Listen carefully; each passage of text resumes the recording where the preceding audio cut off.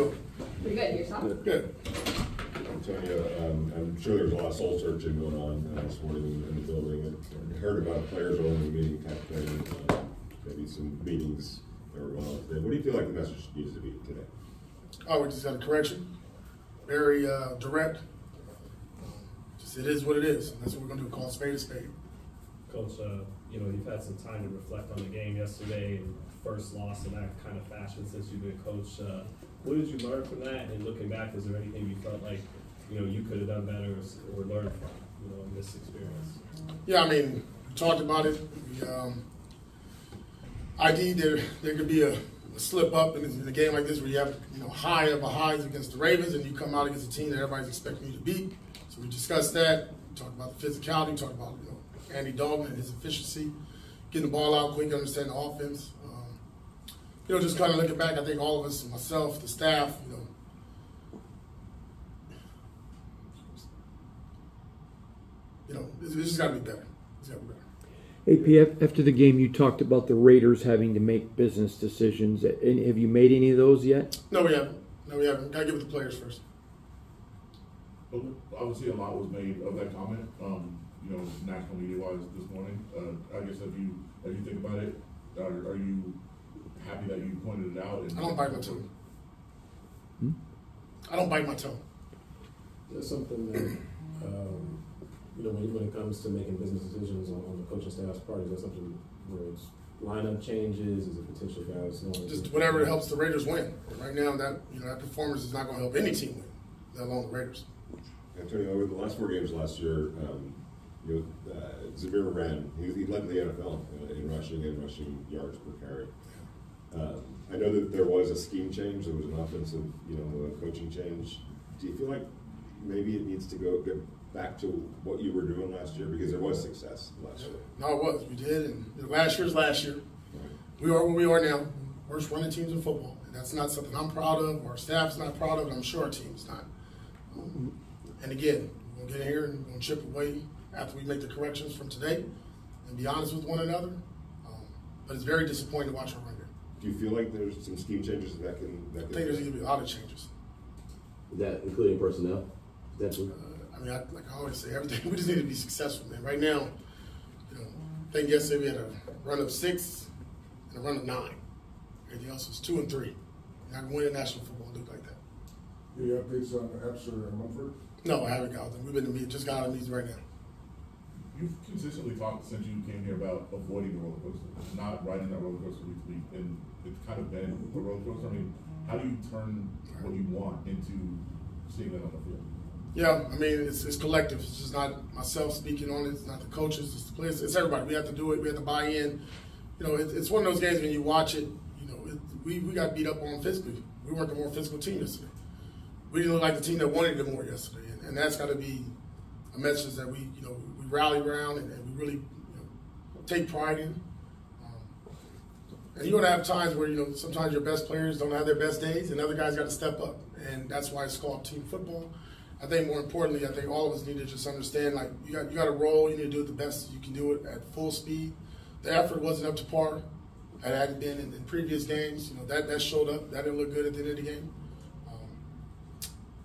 Those are examples. We're, we're talking about a performance yesterday that obviously nobody was happy with, but there's been some that have been great, like outstanding along the way. I guess if you identified anything, like going into those games, preparation wise. No, I mean, listen, we talked about the opportunity here to be two and one at home. The crowd was amazing, like freaking amazing yesterday. Loud, rowdy, felt a little bit old school, but we just didn't, we didn't come to play. You can see that, you know, the very first series defensively. I mean, they went right down the field, and then offensively wasn't pretty, that just kind of, you know, led up to, you know, now okay, did we did we press a little bit? Did we stress? Did we not do a good enough job of, you know, reiterating? Um, um, you know, our must, the goals, the objectives, and then just kind of just, you know, we always talk about reset you know, after each series. And I think sometimes we let a play or a series linger, and I saw that at halftime. We try to adjust that then.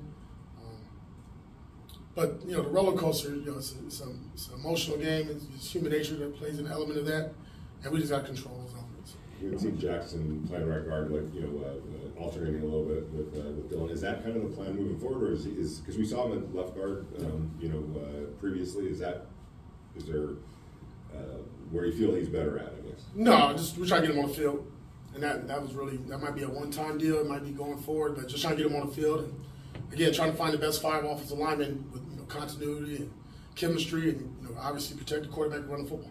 AP, I know that you want ball control, you want to eliminate turnovers, but Al Davis talked about Raiders don't take what the defense gives you, they take what they want. Would you, in that scheme of still being protective of the football, does your offense need to attack more? I mean, we took shots yesterday, right? We hit Mhm. 11 early in the game, backed up, great drive there, 97 yarder. Uh, that got us down, and then obviously we scored with that big play with Tre Tucker. Then we had some plays down the field in red zone, um, and then we took another shot later on. And then you know, there's other opportunities where, for whatever reason, it wasn't taken either breakdown or a sack or you know we missed the read, whatever it could be. You know, we didn't we didn't get those other opportunities, but you know there was we felt like yes, it was a great opportunity for take shots. We threw two of them. Like to have more. Antonio, how much of a factor is Max not being close to 100% with that ankle having on the rest of the defense? It seemed like everybody kind of played down a little bit yesterday. Yeah, our effort, our effort, our energy, our passion um, did not show up yesterday, and that just can't always be 98. I mean, we just, obviously you know what 98 is dealing with. You see it. Um, he gave it all he had yesterday, and we got to protect the player. But more importantly, there's 10 other guys on the field. They got to play to a high level, and we did that last week against Baltimore. Those guys did do that. We just got to be consistently doing it, and it, we didn't play bad because Max wasn't like Max yesterday, right? Max is still at 80% a lot better than any defensive end in the National Football League. So I think just for all of us, is just doing our job, you know, not getting frustrated with you know a play or two here and letting that go. That that, that really showed up yesterday for me. You in the past about saving Max from Max. Is that a thought in your head about his status this week and playing him or not, or, not really? No, I mean the thought was to play him. If he was able to play, play him. You know, if he's injured, then we'll protect the player. Um, but you know, Max is he's different, man. He's a, he's a guy that's going to take everything. You know, and the God given ability to not allow him to play, and if he has any, you know, anything that he feels like he can do, we'll let him play. But I think the biggest thing, man, is just, you know, we got some guys linked up on the D line, right? Malcolm, Tyree, and then, then Max, and you know, you got your captain, your leader that wants to be out there with his players. So we got to look at that going forward of how we're going to handle it. I you said you haven't spoken to the players yet, but how do you expect them to react to the business decisions comment from you yesterday? Is that more of a wake-up call, a warning, or? No, just I mean, it's football, right? After a loss like that, things need to change. Yesterday, because Thayer Munford got hurt so early, DJ Glaze pretty much played the whole game. Uh, what did you think about his performance yesterday? I thought he did well. I thought he had a tough matchup there with Clowney. Clowney had some you know, some power rush moves on him, but for the most part, you know, coming in there, he had limited reps throughout the week. But it was just kind of what we saw in training camp for the guys that were there. Uh, came in, he filled in, and you know we'll see what's going on with Munford. And if, you know DJ's there, we're, we're not panicking because for the most part, DJ showed up yesterday. I know we don't know how long Marcus Epps might be out, but you know, how confident are you in Isaiah Pola-Mao stepping in and filling in? Yeah, I mean, he's played a lot for us. You know, that third safety had some rotational roles uh, in years past and dime. Um, but now he's in his third year. We're really comfortable with him. He had a really good preseason. Stepped up yesterday, did a decent job filling in. So we'll see what happens with the Epps here. And then if it's Isaiah, you know, obviously we feel really comfortable with him. Some uh, there was some national media. They they're, they're trying to decipher who the business decisions about, and they're showing plays with Jack Jones. Um, did you, you know, in, in particular, have any problem with Jack Jones's effort in the game? Since Yeah, I had a problem with our entire defense. Yeah. After watching the film, anything uh, jump out for Gardner and the passing offense you saw on, on the film? Yeah, I mean, you know, there's some plays that I know. Obviously, we like we always say, you know, you want to make and, and take advantage of.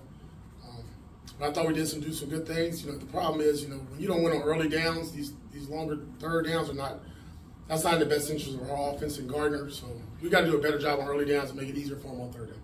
What did you see from, from Aidan in his limited spot duty? I know you talked yesterday about just giving him a shot, do, but is there any chance whatsoever that that gives you pause going forward? Well, I just think you know you look at how the game went.